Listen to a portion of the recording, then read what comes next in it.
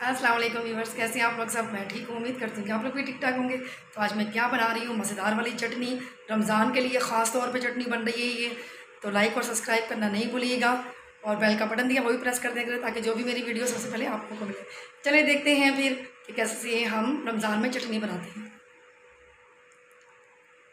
जी, मज़ेदार वाली बन रही है चटनी। चटनी में हरा धनिया, पुदीना, टमाटर और ये है जी इमली और कुटी हुई मिर्चें, इसमें हम ऐड करेंगे और अभी स्टार्ट करते हैं।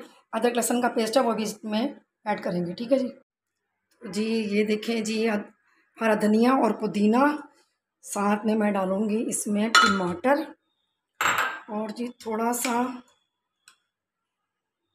ये लहसन है जी, ये ऐड होगा थोड़ा सा इसमें, हम लोग डालेंगे कुटी हुई मिर्चें और पिसी मिर्चें। जितनी आपको पसंद है हरी मिर्चें तो हरी मिर्चें, लेकिन मेरे घर में हरी मिर्ची जो ना कमी खाई जाती है तो बस इसको जो है ना कैप लगा के इसका पीस लेंगे इसको।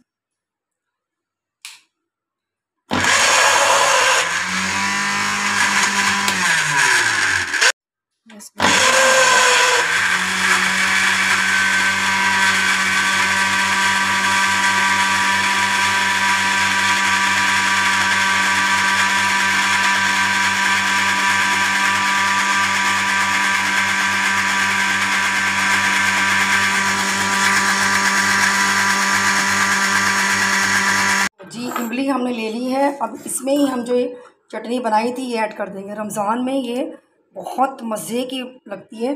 ज़रूर ट्राई कीजिएगा, ज़रूर बनाइएगा। ठीक है?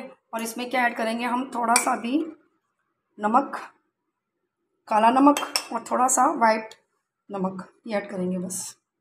कम ऐड करेंगे, ज़्यादा नहीं। ठीक है जी? इसको करेंगे मिक्स। और ये पकौड़ों के साथ ये बहुत मज़े की लगती है, बहुत मज़े की। तो कभी आप बनाएँगे तो मुझे ज़रूर दुआओं में याद रखिएगा कि इतने मज़े की मैंने चटनी बनाई और आप लोगों को दिखा भी दी कैसे बनाती हूँ मैं चटनी। झटपट में तैयार हो जाती है, दो सेकंड लगते हैं इसको बनाने में, ठीक है? तो ये देखें, बस इसके अंदर ये जो इमली है, ये इसके अंदर जाएगी और इसकी गटरियाँ नहीं निकालेगा, फिर इसी से इसका जायका आता है, ठीक है जी? और जी, बस रमज़ान में ये बनाइएगा और पकौड़ों के साथ खाइएगा, रोल के साथ भी खा सकते हैं। तो मज़ेदार वाली चटनी तैयार है हमारी। ठीक है जी। चले।